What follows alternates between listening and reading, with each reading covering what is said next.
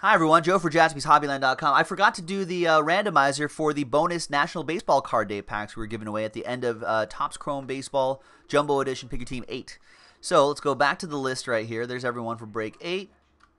Let's collect all of your names here. Let's put them into this blank list on random.org. Let's roll the dice, and the top five will get some bonus pack. Could be autos in there, too. Let's randomize it eight times. Six and a two. One, two, three, four, five, six, and a two, seven, and eighth and final time. After eight times, we've got Derek, Paul, Austin, Daniel, and Alan with the bonus pack. So there you go, everyone. Thank you. We'll see you next time on jaspyshobbyland.com.